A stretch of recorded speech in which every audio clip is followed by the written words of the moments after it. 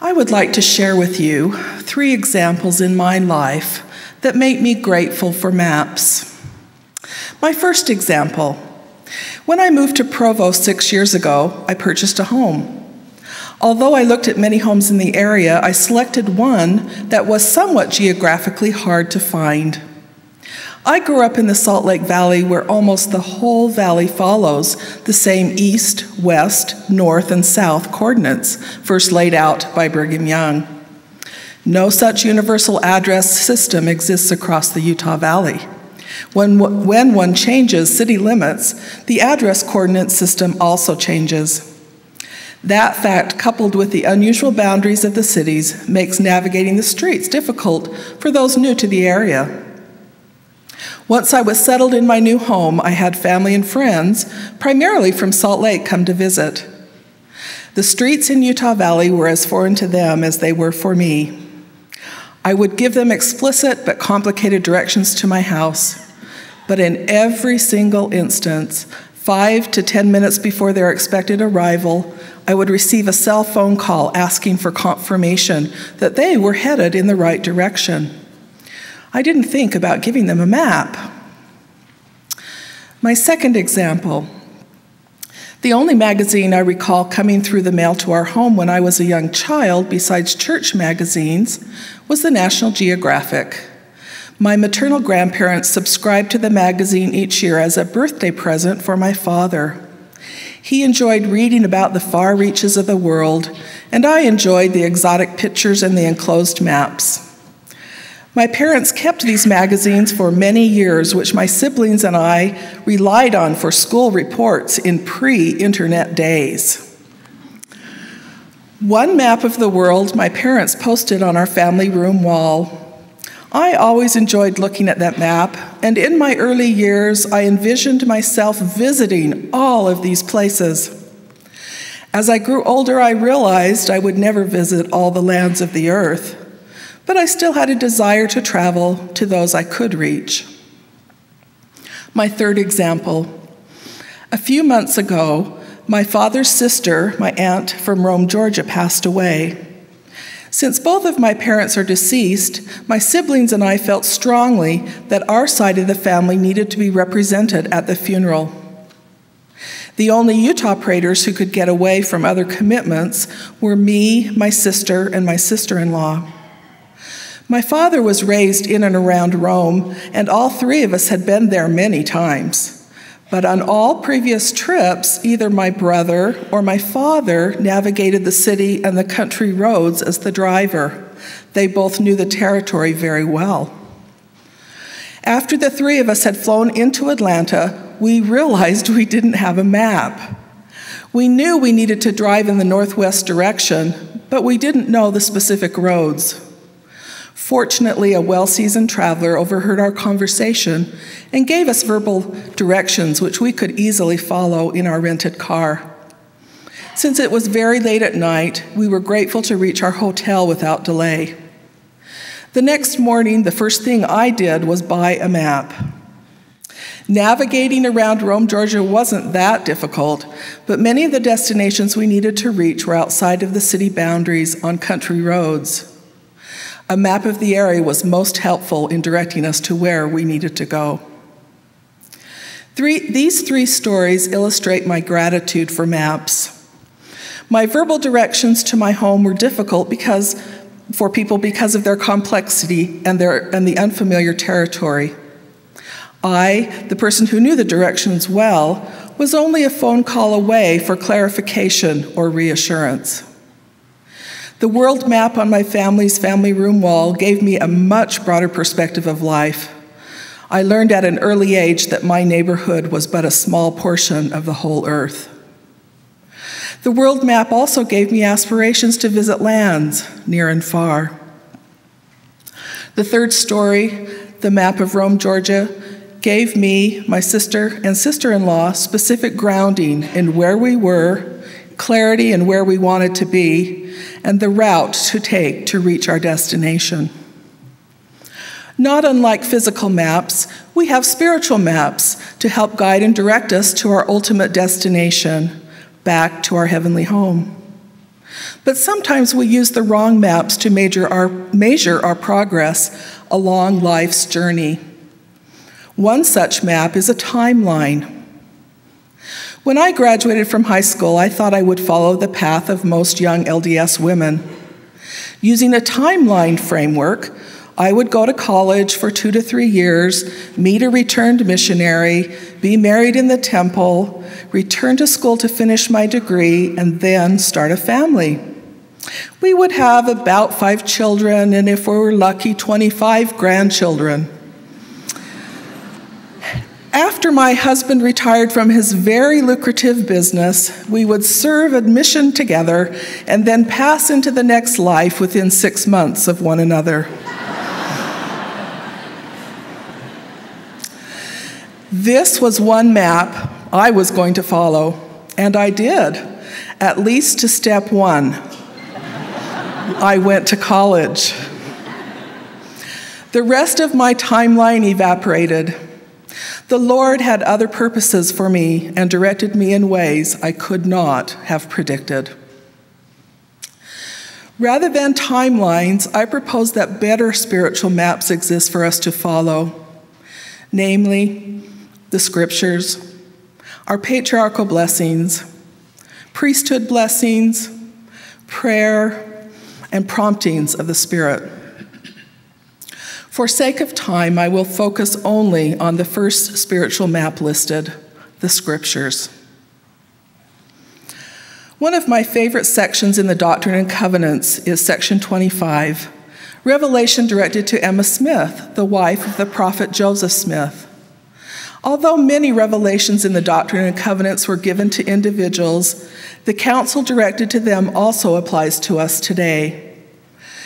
As the Lord has said, what I say unto one, I say unto all. The guidance given to Emma Smith is one example of a spiritual map we can find throughout the scriptures. I will refer to just a few of the verses in this section today. One of the first pieces of counsel the Lord gives Emma is in verse 4 Murmur not because of the things which thou hast not seen, for they are withheld from thee and from the world, which is wisdom in me in a time to come. Emma faced many challenges and was asked to endure many things. My challenges, and I'm certain many of yours, pale in comparison to what Emma experienced. If the Lord counseled her not to murmur, how much more does this counsel apply to us? The word murmur is defined in the Merriam Webster Online Dictionary as, quote, a half suppressed or muttered complaint, an expression of dissatisfaction, pain, or resentment, end of quote. This definition implies that murmuring is not a boisterous, overt complaint, but one that is perhaps stated under our breath or even carried in our hearts. For what should we not murmur? Elder Neal A. Maxwell said, Strange as it seems, we sometimes respond better to larger challenges than to the incessant small ones. One can be sincerely grateful for his major blessings, but regularly murmur over minor irritations. Enduring large tests while failing the, the seemingly small quizzes just won't do. So, what are our minor irritations? Perhaps we murmur about individuals.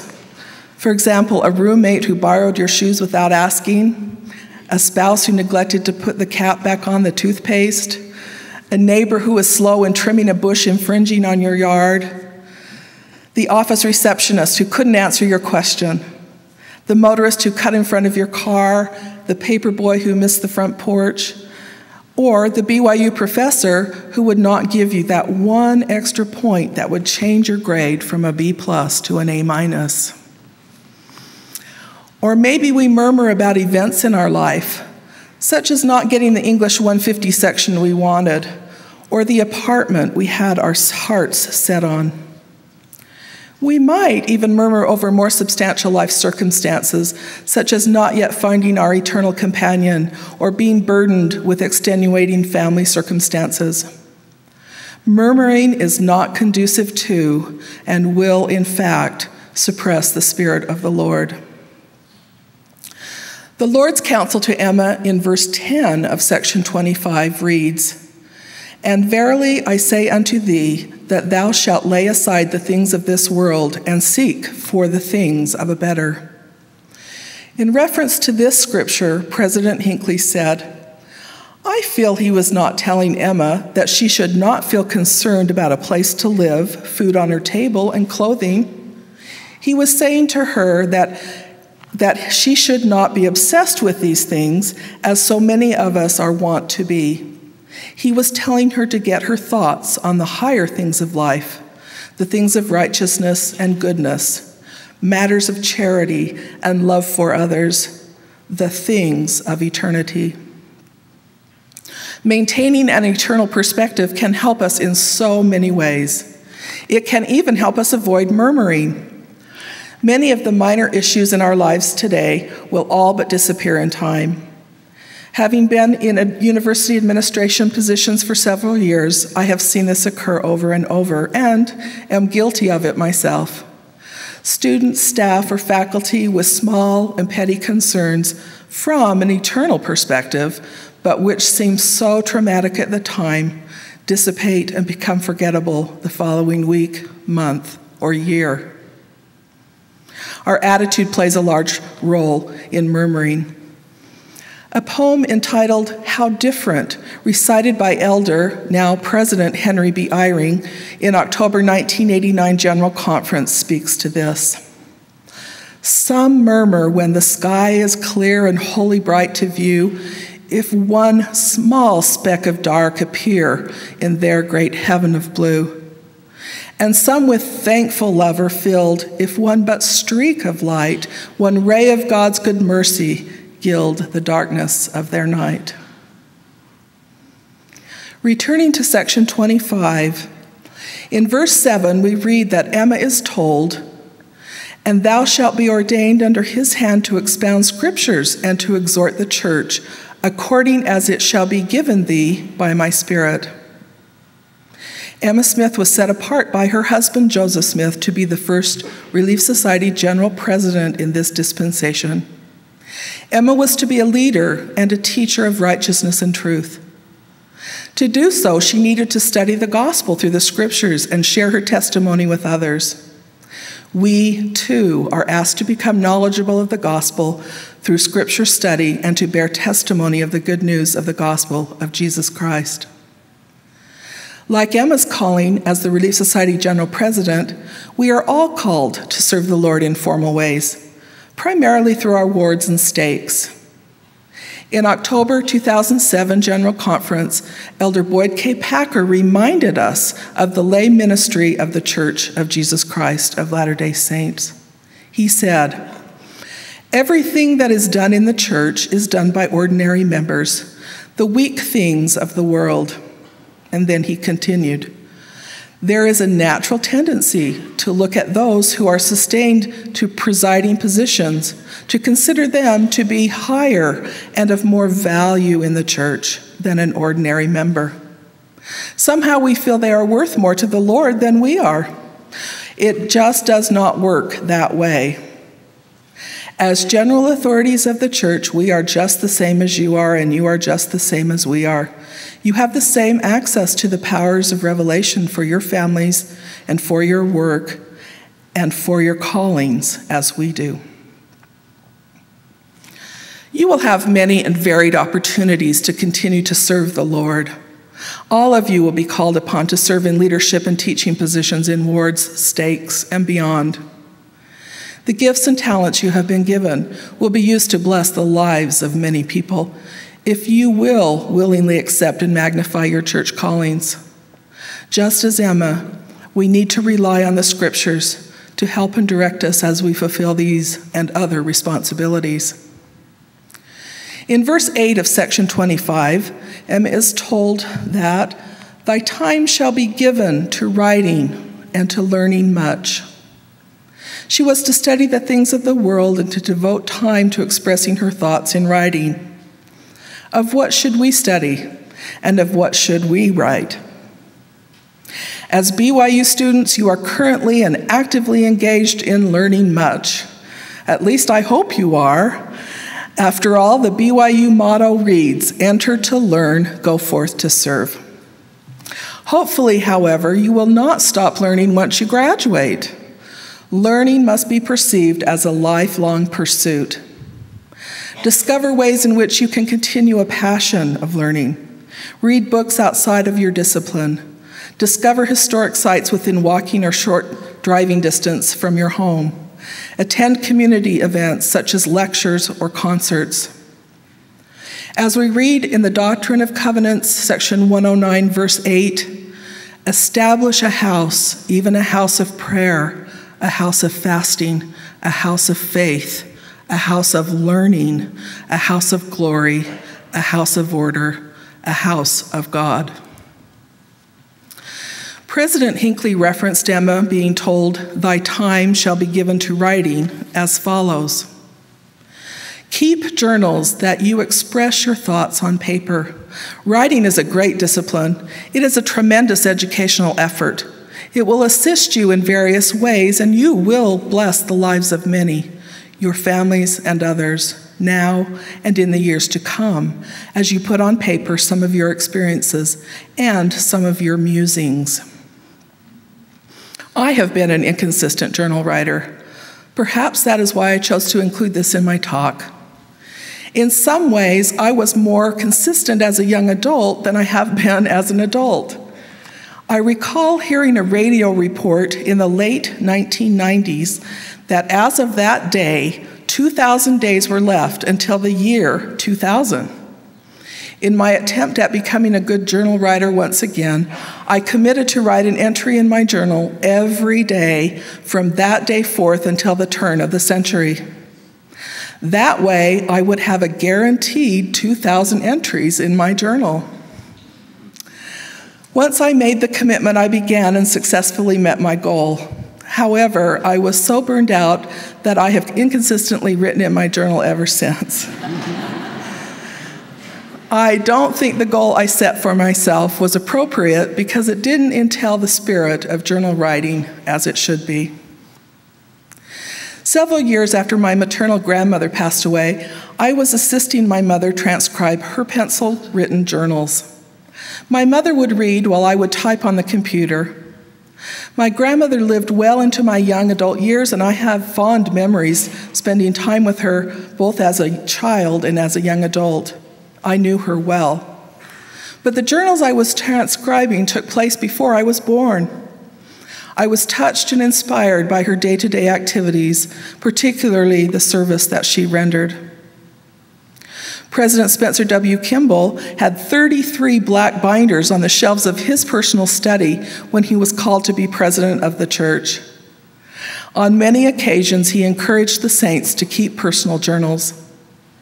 In one New Era article, he wrote, we may think there is little of interest or importance in what we personally say or do, but it is remarkable how many of our families, as we pass on down the line, are interested in all that we do and all that we say. We often remember Section 25 for the specific responsibility charged to Emma Smith. In verses 11 and 12, we read, and it shall be given thee to make a selection of sacred hymns. For my soul delighteth in the song of the heart, yea, the song of the righteous is a prayer unto me, and it shall be answered with a blessing upon their heads. In 1835, five years after Section 25 was revealed, the first hymnal was published. Those five years were difficult times for Emma. She had given birth to twins who lived for only three hours and adopted twins, one of whom died of exposure when a mob invaded the home where they were staying. The hymn book was entitled A Collection of Sacred Hymns for the Church of the Latter day Saints. It included 90 hymn texts, 39 of which had been written by Latter day Saint poets. It was common in that day for hymn books to include words only, with no music. This collection of hymns was published in a vest pocket edition, measuring only three inches by four and a half inches. Emma's charge was very clear. She was to create the collection of hymns, and she fulfilled her responsibilities dutifully. What is our charge to be? We probably won't receive a revelation from the Lord as direct as that which Emma received. So, how are we to know what to do with our lives? What should be our career? Where should we live? How can we best use our gifts and talents to bless the lives of others? The scriptures and living prophets can provide us direction in our lives. To speak to God, we pray. To hear God speak to us, we read the scriptures and feel the promptings of the Spirit. Let me share another personal experience. When I completed my doctoral work and was looking for a full time university position, I applied all over the United States. The first serious offer I received was from Southern Illinois University in Carbondale. I developed bronchitis on my interview trip. Consequently, I didn't feel as though I had interviewed well. I was amazed when they offered me the position and then gave me a week to get back to them. Now I had to make a decision. In Doctrine and Covenants, section 9, we are told not to simply ask the Lord what to do, but to study it out in our mind, make a decision, and then ask the Lord if our decision is correct. I followed this counsel, doing everything I could in my power to make an informed decision. I learned everything about the university and the community, even speaking with local church leaders and seeking out former students who I did not know previously. Although I prayed continually throughout the week, I prayed most fervently the morning I needed to return their call with my decision. I told the Lord I had decided to accept their offer.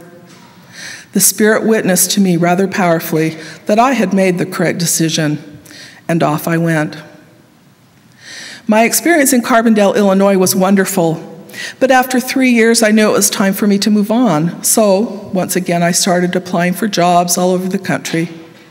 One position opened was at the University of Hawaii at Manoa. I remember thinking, I really don't want to move to Hawaii. But this job announcement describes my skills exactly, so I threw my application in the ring. They offered me an interview and then the job. I again followed the same process I had done previously in order to determine if the Lord truly wanted me to move so far away from family and friends. But I did not receive the same conviction I had previously received. During this time, I was reading the Book of Mormon. I came across, across 2 Nephi chapter 29, verse 7, which reads Know ye not that there are more nations than one?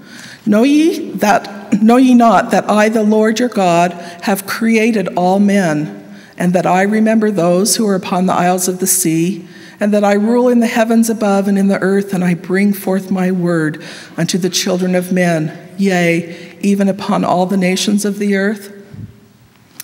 I felt as though the Lord was speaking directly to me. Know ye not, Mary Anne, that I remember those who are upon the isles of the sea?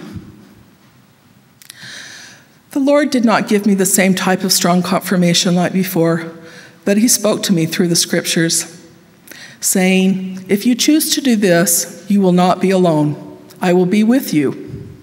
That was an answer to my prayers. The opening hymn we sang has particular meaning to me, to me. It did not appear in the first hymnal Emma Smith compiled, primarily because it had not yet been written. The story that has passed down the years is that Charles L. Walker was bored during a very long sacrament meeting and amused himself by penning the words, Dearest children, God is near you. After the poem was written, John Menzies Macfarlane set the poem to music. Both Brother Walker and Brother Macfarlane were early pioneers who helped settle southern Utah. Dearest Children was first published in the Juvenile Instructor in 1877 and eventually found its way into our hymnal. This hymn is particularly meaningful to me because the music was composed by my great great grandfather Macfarlane. Family has conjectured that these two friends may have composed other hymns and songs together, but none others have survived. At the time I was asked to be a devotional speaker, I was also asked to select an opening hymn. I was fairly stunned by the invitation, and without much thinking, I immediately responded, Let's sing, dearest children. Once I began writing my talk, I realized that the words to this hymn correspond nicely to what I wanted to discuss. The hymn provides a map, not unlike section 25, of what we are to do in this life to return to our heavenly home. Dearest children, God is near you watching o'er you day and night, and delights to own and bless you if you strive to do what's right. He will bless you. He will bless you if you put your trust in Him. Dearest children, holy angels watch your actions night and day, and they keep a faithful record of the good and bad you say. Cherish virtue, cherish virtue. God will bless the pure in heart. Children, God delights to teach you by His Holy Spirit's voice. Quickly heed its holy promptings. Day by day, you'll then rejoice. Oh, prove faithful, oh, prove faithful to your God and Zion's cause. Earlier, I provided three examples of why I am grateful for maps. These physical maps are not unlike the spiritual maps available to all of us. When my family and friends were trying to find my home, I was only a phone call away for clarification or reassurance. We can always reach our Heavenly Father through prayer.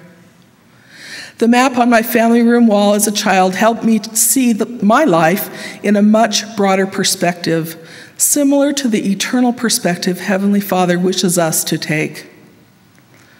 And the map of Rome, Georgia provided specific direction to get to our destination not unlike the scriptures, patriarchal blessings, other priesthood blessings, and promptings of the Spirit.